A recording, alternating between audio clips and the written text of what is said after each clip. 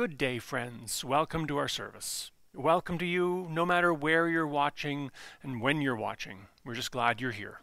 This, of course, is only a half of what's happening this morning if you're watching on Sunday mornings, because at this exact same time, I'm also standing right there, preaching from there as well. It's the magic of technology.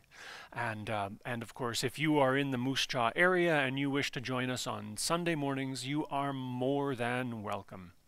Uh, but of course, we will still be continuing our online presence, and we are, you may have noticed on our Facebook page, we are exploring, sometimes a little bit messily, our uh, streaming capabilities. Right now, we're just playing around, seeing what works, and that's why we're still putting these YouTube videos up just to make sure that all of the weird technical things are taken care of. Like last week, our sound wasn't really all that great. But we do have plans in store to make it all run much, much more smoothly. And so if you are one of our online viewers, please stay tuned because things are going to get even better. But for now, please join me in prayer. Holy Spirit, as we enter into our time of worship, we ask that you open our hearts to your presence, to your wisdom, and to your compassion. We open ourselves to thinking in new ways about your nature and about the unending promise of your grace. Be with us and remind us that you are always more than we can imagine. You are more forgiving, more welcoming, and so much more than fair. We pray to you who is our mother and our father, who art in heaven, hallowed be thy name. Thy kingdom come, thy will be done on earth as it is in heaven. Give us this day our daily bread, and forgive us our trespasses, as we forgive those who trespass against us. And lead us not into temptation, but deliver us from evil. For thine is the kingdom, the power, and the glory, forever and ever. Amen. Our scripture reading today is probably one of the most well known parables that Jesus spoke. I think it's maybe one of the best stories that has ever been told. This is from Luke 15. Now all the tax collectors and sinners were coming near to listen to Jesus. And the Pharisees and the scribes were grumbling and saying, This fellow welcomes sinners and eats with them. So he told them a parable. There was a man who had two sons. The younger of them said to his father, Father, give me the share of the property that will belong to me. So he divided his property between them. A few days later, the younger son gathered all he had and traveled to a distant country, and there he squandered his property in dissolute living. When he had spent everything, a severe famine took place throughout that country, and he began to be in need. And so he went and hired himself out to one of the citizens of that country, who sent him to the fields to feed the pigs. He would gladly have filled himself with the pods that the pigs were eating, and no one gave him anything.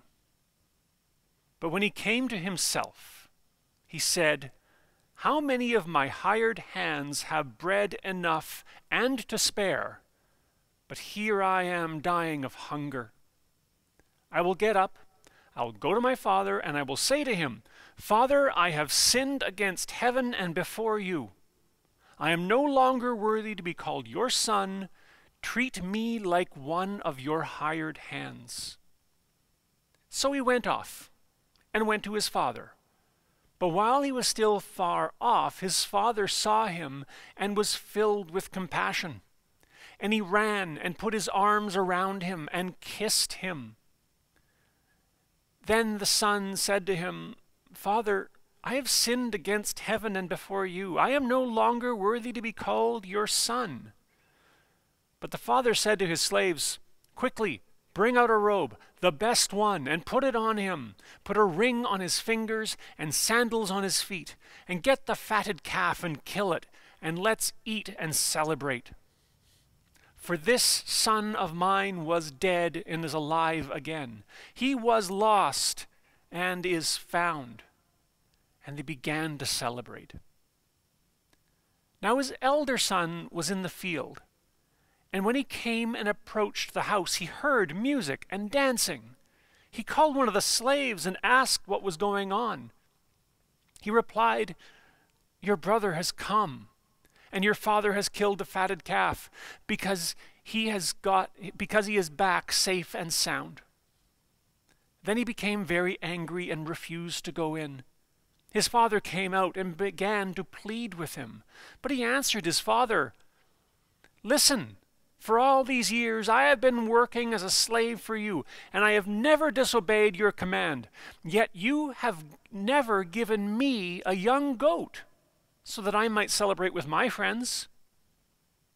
But one but when this son of yours comes back, who has devoured your property with prostitutes, you killed the fatted calf for him. And the father said to him, Son, you are always with me, and all that is mine is yours.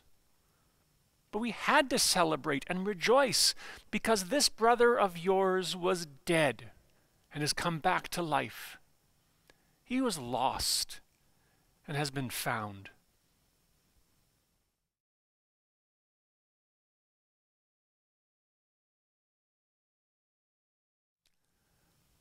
I have the best dad. No, really. I have the very, very best dad. How can I be so sure? Well, it's because I am the very worst son. You don't believe me? Well, let me tell you. I had everything. I had comfort and wealth. I had servants and a good home.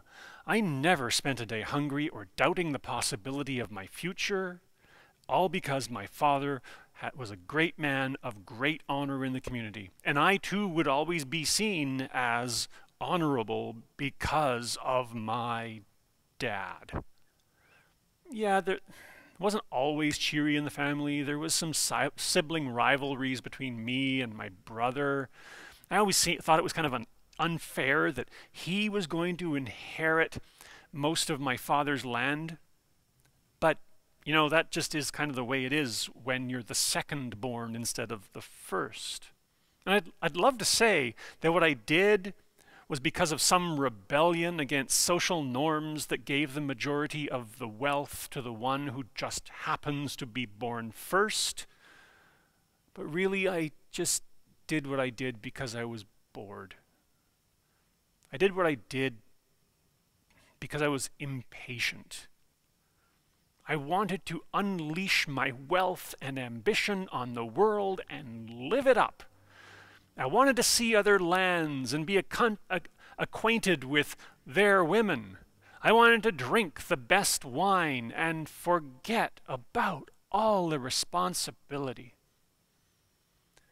To do this, though, I had to go to my father and ask for an advance on my inheritance. And looking back, I admit that was pretty callous of me. Asking for something that I'm not supposed to get until my father's death is a bit like saying that I wish he was dead. And yes, this was going to do damage to his honor in the community. People would always see him as the one who couldn't control his own sons. But what did I care? Adventure awaits. The flaw in my plan, though, became really clear very quickly. It was surprising how, how fast I could drink my way through all the wealth my dad had given me. And after that, you know that landlords won't pay, let you pay rent with an assurance that one's father, far, far away, has money? They want to see cash in hand, which I didn't have. It was long, wasn't long before I was begging for food and taking any job I could get just to stay alive. I even had to work as a pig keeper. Can you imagine a good Jew having to work with the pigs? And worse than that, can you imagine a Jew stealing the food from the pig's trough just so I could have something in my belly? I'm worse than the pigs. Sometimes it takes reaching rock bottom, but I finally came to my senses. I'd go back home, I'd beg forgiveness, and ask to be one of my father's servants. Yeah, that was the plan I was going to do. And I, you know, I was so excited about that plan. I was so sure that I would be able to have at least the very basics of living. I didn't even tell the pig owner. I just left and walked as home as fast as my feet would take me. I didn't know what to expect when I got near the house, but there was my dad out on the road. What's he doing there? It's almost like he was waiting for me. So he, he sees me and he, he bunches up his cloak up around his thighs and starts running and crying my name. I'm the one who's been living with the pigs, and I'm almost feeling embarrassed for him. I'm sure the neighbors were clucking their tongues and shaking their heads. He just didn't seem to care about his honor and how he looked. He was just so happy to see me. He ordered the slaughter of the biggest cow, the one that he was saving for festival, and he threw me a feast. No living as a servant, no anger, no questions where I'd been, just a celebration of my return. I gotta tell you, everybody should have a parent like mine. It's amazing. But then again, who knows? Maybe you too have a parent that loves you this much.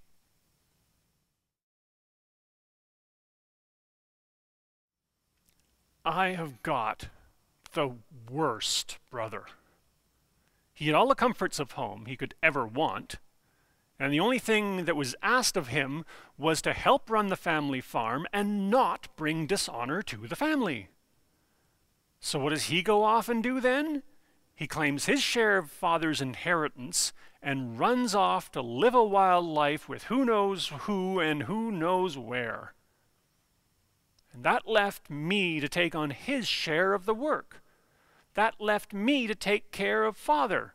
That left me to endure the sideways glances and whispers about how my father had lost his, senten- his senses and his honor when his son took such terrible disadvantage of him.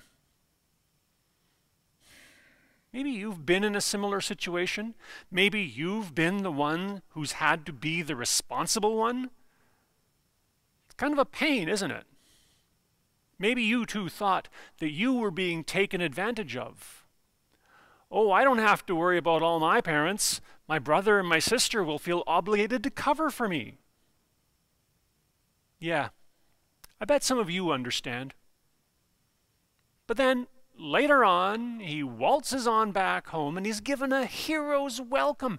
There's a party and gifts and a cow that I have been feeding and tending all this time so it could be slaughtered for the festival. The thing is, he took his share of the inheritance. And so, where are all these gifts coming from? You got it from my portion. Dad is taking from me, who worked so hard for all these years, and is giving it to that spoiled brat that abandoned his family. You know what really hurts? Dad didn't even tell me that my brother had arrived home. He didn't even tell me there was going to be a party. I heard it secondhand from one of his servants. How long would it have been before they realized I wasn't there? Would they have even cared? It's just not fair. I've worked hard all these years. I've been so devoted. I've been the good son. Do I get a party? Do I get a feast? No. Now, after I've found out, Dad says that I should join in. But I can't join that party. I can't join in the fun. I have to miss it all so he will finally see how unfair this all is. You understand, right?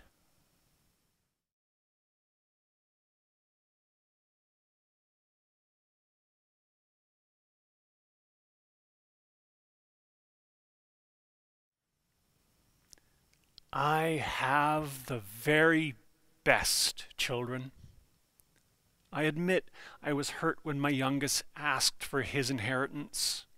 When he walked away from me and all that I had provided for him, my heart really did break.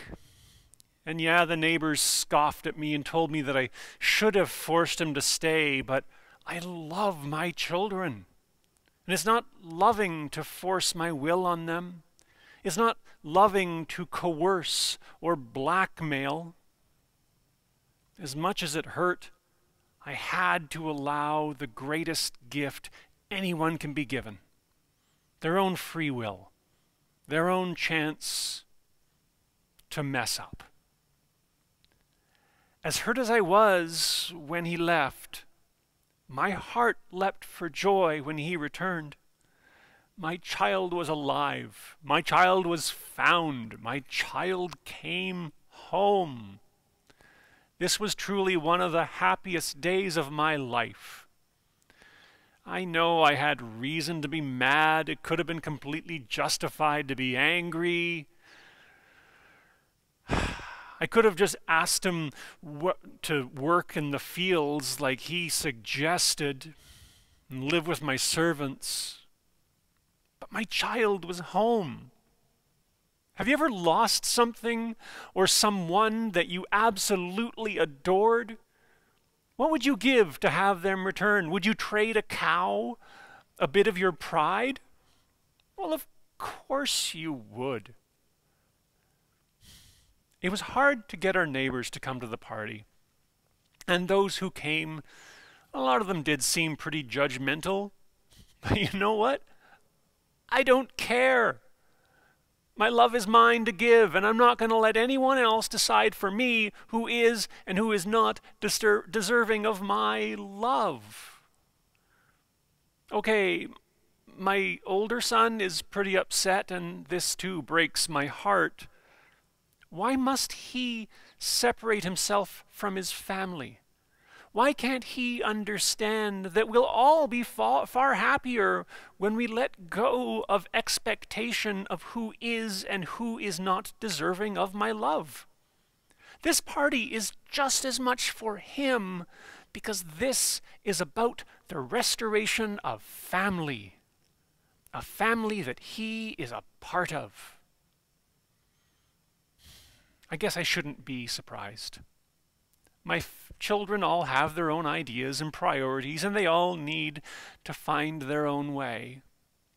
I suppose it's in their nature to rebel and run away. I suppose it's in their nature to try to decide for me who is and who is not worthy. I just hope that they will finally understand that it's in my nature. It is who I am as their parent to love.